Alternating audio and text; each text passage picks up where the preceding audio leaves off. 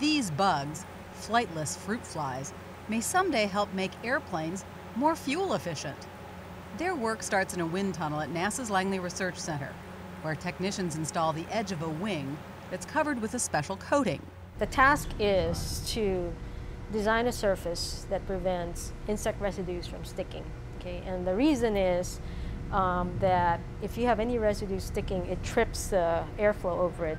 Rough airflow increases airplane fuel usage as much as 30%, says NASA's Environmentally Responsible Aviation Project. Researchers use the fruit flies to simulate the kinds of bugs that planes encounter every day. When you look back in the literature, people have been trying to solve this problem for over 60 years.